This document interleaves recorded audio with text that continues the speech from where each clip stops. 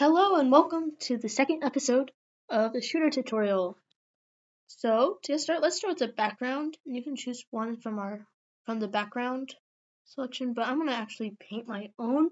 I'm just gonna make a big square and have it a light gray. I think that looks nice. And then let's see what you have so far.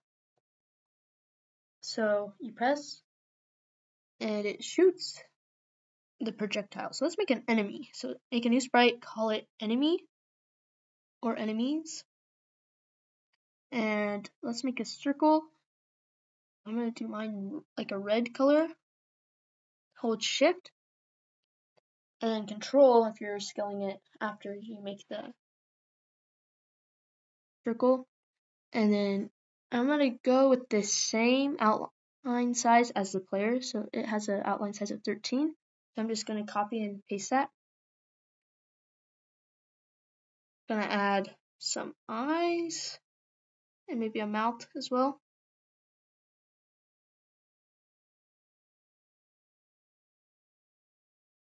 Nice, good mad face or frowny face. I'm to call it, I'm just going to keep it the same name. And in the code, and bring out a when green flag clicked, hide. So now when you press the green flag, it hides. Bring out a forever loop, and let's wait five seconds for now. And after we wait, before we wait five seconds, let's create a clone. And when I start started to clone show, any moment now, there should be another one. There we go. And it'll just keep creating clones. Now let's bring out um, point towards player and move. Let's start with two steps and bring out a forever loop and have that in a forever loop. So now it will move towards the player and we have an enemy that actually tries to attack the player. I'm going to change their speed to 1.8, so move 1.8 instead, so that way the player is a little bit faster than it than the enemies that'll make it a lot easier to get away.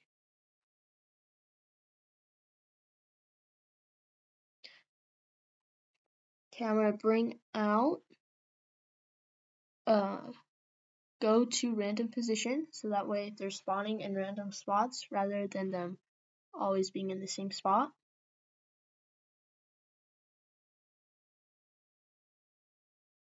Okay, that's looking decent now. So let's now let's be able to kill the enemies.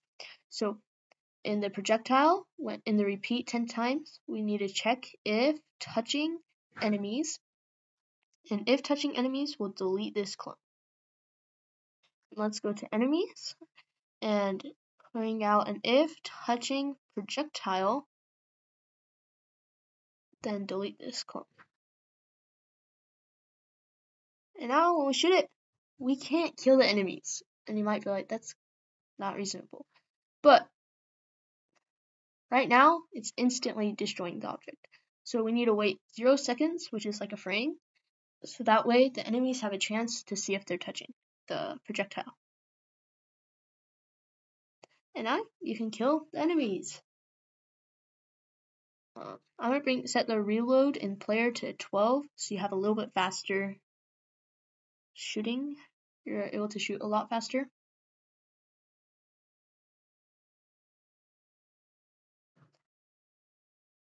Okay, that looks great. Pow, pow.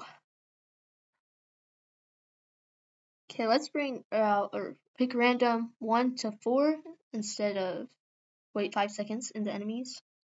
So that way lots of enemies can spawn really fast and it kind of just slows down and waits a while. Let's duplicate our enemy's costume and let's make it the second enemy. I'm gonna go to a more orange color. I'm gonna change the frowny face to I don't know, maybe like a little bit different. That's up to you if you want to do that though. Count and do that.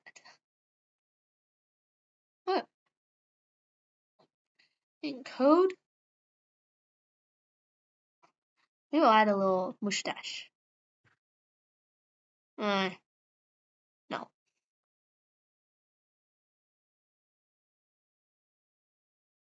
Okay, I want to create a new variable, call it, I'm going to call it lives for the sprite only. I'm going to set lives to zero when green flag clicked and when I start as a clone, set lives to costume number. And then if touching projectile, we need to change lives by negative one. And if lives are less than one, we need to wait zero seconds and delete this clone. Okay. So now should be working. Mine isn't. Let's move wait zero seconds after we change the lives if touching projectile and delete the wait zero seconds in lives.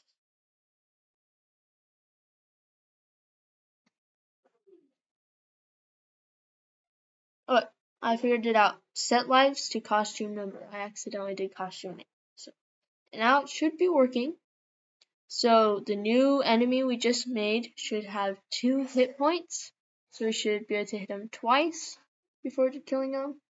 But let's start making our easier ones being able to spawn. So switch costume to 1 to 2. Let's create a new variable, call it speed for the sprite only.